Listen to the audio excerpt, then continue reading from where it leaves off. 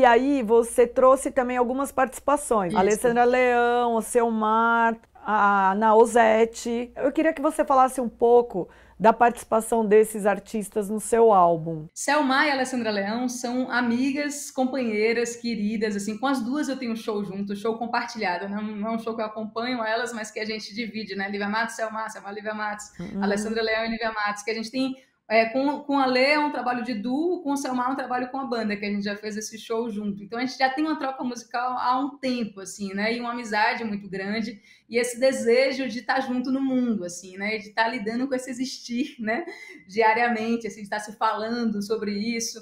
E aí, no meio disso, a gente fez essa música que chama Amor Meu Bem, que elas participam da música que elas fizeram junto comigo, assim. Então foi muito, é muito gostoso, assim, uma celebração, né, da amizade e muito interessante o processo também, porque eu fiz a letra, comecei a fazer a letra, a Selma começou a musicar e tinha ido, ela tinha feito uma coisa meio shot. E eu levei para um lugar, eu empenei muito a música. Na hora que ela olhou, ela, que isso?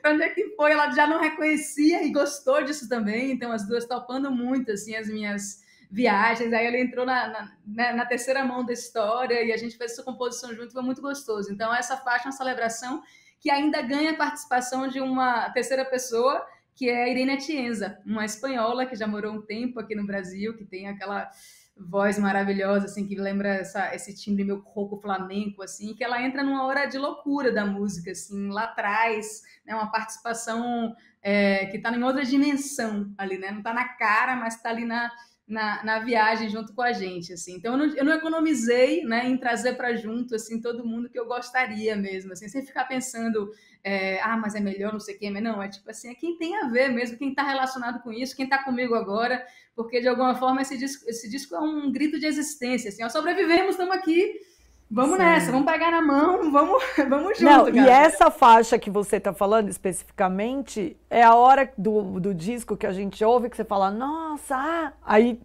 você já é surpreendido de novo. Né? total, total. É uma música que fala de quando o amor acaba, né? Então, assim, na pandemia mesmo, né? Quanta coisa catalisou nos corações, né? Desse Brasil, né? Todo, porque quem era para juntar, juntou, quem era para separar, separou.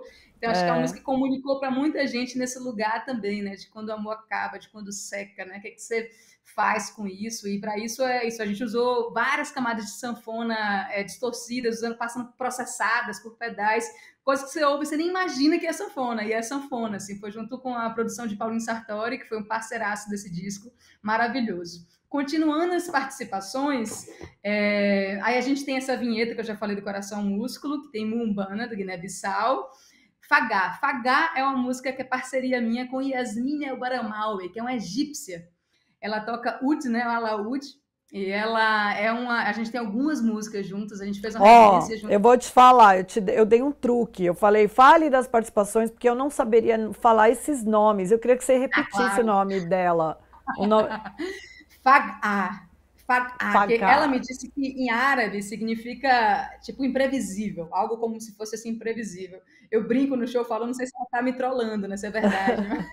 Eu não botei Mas, no Google pra ver. Uh -huh. Mas a Mas... música tem isso. A música ela foi a primeira composição que a gente fez junto. Foi muito fluido o nosso processo. Assim, eu fazia uma, a gente junto fazendo, né? Eu fazia uma parte, ela fazia outra, a gente tocando e, e foi emendando partes que você olha você não, quem ouve pode imaginar que aquilo foi pensado e raciocinado para ser diferente, assim, ela tem uma estrutura um pouco de suíte, assim, ela vai por vários lugares, assim, e em lugares não também comuns assim e a gente ficou muito feliz com isso assim muito feliz com essa com essa composição e a gente começou a fazer mais tem uma ideia de um trio que é junto com a colombiana a gente nunca conseguiu reunir de novo as três eu já encontrei com a colombiana e com ela. Fui lá no Egito depois eu vou falar da outra faixa que tem a ver com essa essa mistura do Brasil com o Egito né com essa da Bahia. Maravilhosa.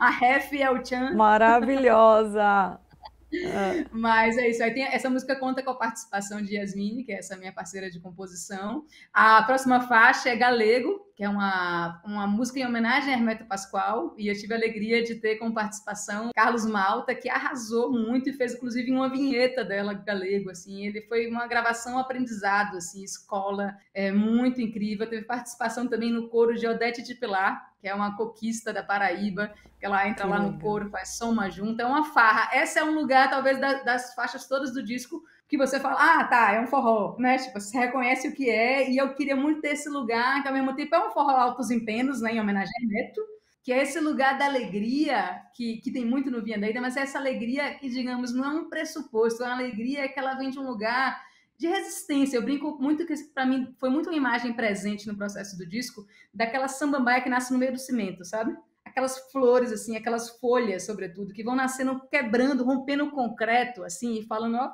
vamos, estamos aqui. A gente pode botar aqui por cima, mas a gente está aqui. E essa faixa, a coisa do, da homenagem a Hermeto tem muito a ver com esse pensamento de uma. Como pensar o um mundo diferente, como pensar a música diferente. Acho que Hermeto propõe uma outra, outra forma de pensar. E isso inspira muito. Por isso tem muito a ver com o disco, essa presença dele aí, mesmo que seja isso uma música, uma homenagem a ele. Bom, aproveitando que a Lívia Matos fez uma homenagem ao Hermeto Pascoal, a gente também vai homenageá-lo por aqui. A gente resgatou um trechinho do programa ensaio, em que ele fala do processo criativo de suas composições e de Luiz Gonzaga. Lá tem aquele negócio, é gramofone o nome? Gramofone, na feira. O cara, o, cara, o cara levava um na feira e, e cobrava para rodar, cada vez ele cobrava um negocinho para rodar os negócios, para rodar um disco do Luiz Gonzaga, né? Então, é, é, não dava tempo nem de decorar a música toda, entende? Mas é, eu, foi bom para mim, porque eu, eu decorei, eu, eu, eu, imaginava as coisas de. Eu me apoiei muito na, na roça, nos passarinhos, nos sapos, né? Nas coisas, nos índios. Né? Eu me apoiei muito nisso e foi bom. Essa riqueza para mim, para minha criatividade, para minha música que eu faço hoje, que eu chamo de, chamo de música universal, foi muito importante para mim e para o mundo. Depois, o que, que a gente tem? Tuk-tuk. Tuk-tuk é a música que é, é, é, a outra mistura do Brasil com o Egito, que foi quando eu estava em Cairo. Eu fiquei muito impressionada com o trânsito do Egito, assim, como você acha que São Paulo está ruim? Meu Deus, não tem, assim, não tem regra, meu amigo. Eu achava que ia morrer a todo momento, assim. No meio daquela loucura tem aqueles carrinhos pequenininhos, né, que são esses tuk-tuks, parecem umas motos cobertas, assim, né? E eles ficavam costurando serelepes ali, o, o trânsito, né? No meio daquele caos, eu, eu assino o carro e eles passando assim, né? Parecendo felizes, assim, no meio do trânsito. Gente, que loucura! Eu fiquei muito motivada por essa angústia, assim. e aí eu fiz essa música que conta com a participação de Armandinho Macedo.